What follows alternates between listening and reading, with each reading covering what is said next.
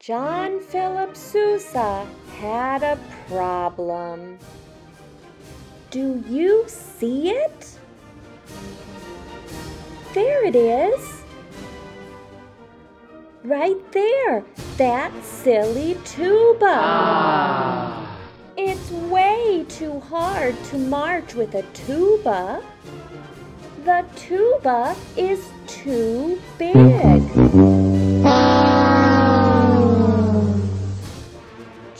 Philip Sousa had a great idea. I will invent a new instrument. A better kind of tuba that wraps around the musician's body like a snake. It will be very easy to carry. But what should I name my new instrument? Hmm, I know. A telephone!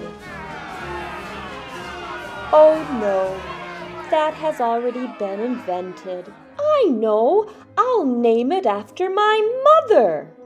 A mammophone. Oh dear, that is just silly. I know, I am a handsome man.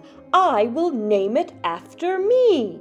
My new instrument shall be called a sousaphone. Sousaphones can do anything.